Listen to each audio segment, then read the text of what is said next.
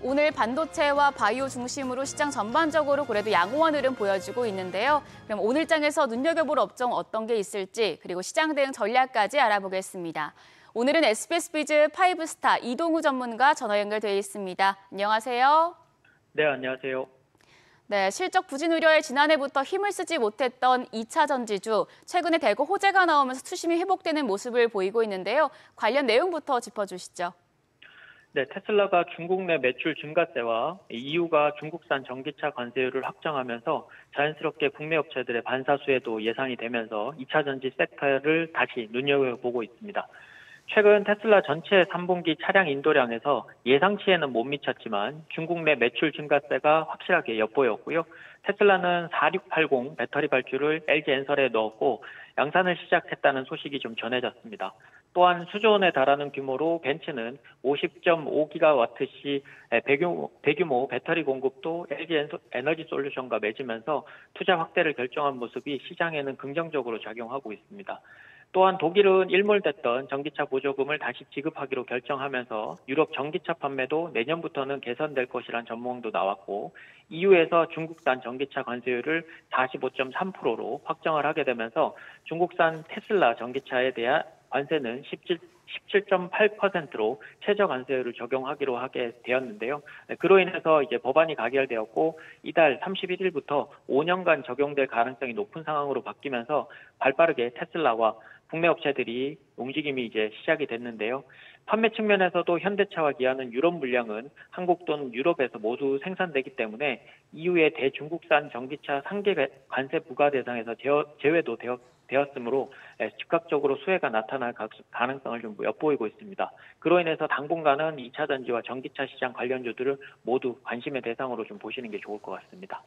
네, 국내 배터리 업계도 이 차세대 배터리인 4680에 집중을 하면서 개발과 양산에 힘을 쏟고 있어서 주목받고 있는데요. 전문가님께서는 어떤 종목 좋게 보시나요? 네, 관련주 top pick으로는 PNT와 동원 시스템즈 중점적으로 좀 보고 있는데요.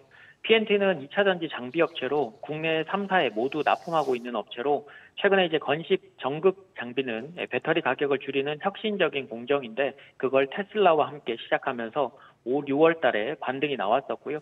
최근 테슬라가 LG 엔솔과 4680 배터리 공급 계약도 하면서 4680 배터리의 건식 전극 공정을 실험 중으로 이게 게임 체인저가 될 가능성이 굉장히 높은 네, 것으로 알려져 있습니다. 실적면으로도 2차 전지 장비사 중에서 유일한 우상량 수주 잔고를 좀 보이고 있고 2024년 올해는 퀸텀 점프를 예상하고 있는 상태입니다. 기술적으로는 9월 달에 5만 원대 지지력을 확보 후에 천천히 좀 상승 중이고요.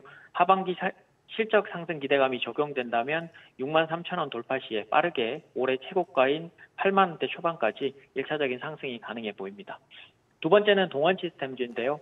각종 포장재랑 뭐 알루미늄을 제조하는 가공업체에서 신사업으로 2차 전지용 알미늄, 알미늄 어, 양극막 및 배터리, 배터리용 원형 캔을 생산하고 있는데요. 이번 주 LG 에너지 솔루션이 테슬라의 4680 배터리 공급 양상 결정을 하면서 캔 케이스는 동원 시스템즈가 독점적으로 납품하기 때문에 수혜가 직접적으로 가능합니다. 지난해 300억 원 수준이었던 배터리 소재만의 매출은 올해 700억 원대로 대폭 증가할 것으로 보이면서 이미 2분기 영업이익률은 4년 만에 최대치를 갈아치웠고 테슬라 매출까지 더해지면 하반기 본격적인 성장이 실적으로 환산될 것으로 좀 예상합니다.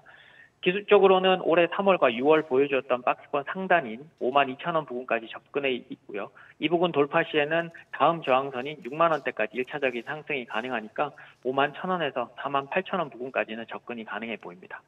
네, 오늘 시장 그래도 소폭이라도 반등을 하면서 나쁘지 않은 흐름 보여주고 있는데요. 포트폴리오 전략 어떻게 가져가면 좋을까요? 네, 일단 뭐 시장의 반등 분위기는 이어지는 데는 크게 문제는 없을 것 같습니다. 연준의 비컷 이후에 중국 정부의 추가 부양책으로 인해서 어, 국내 시장은 이제 중장기적으로는 유동성 확대가 예, 긍정적으로 작용할 듯 하고요. 다만 그 효과가 경제 지표 개선으로 바뀌기 바뀌기에는 시간이 좀 필요합니다. 또한 이제 11월 달 미국 대선 전에 증시의 부진함은 불가피할 것으로 좀 보이는데요.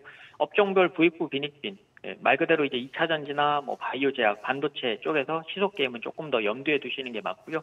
8월, 9월 급락 기간에도 견고함을 보였던 바이오 제약, 그리고 반도체 대신 저가 매수에 유입이 된 2차 전지, 그리고 반도체 안에서는 지금 SK 하이닉스 관련주 정도만 예, 유념해 주시고요.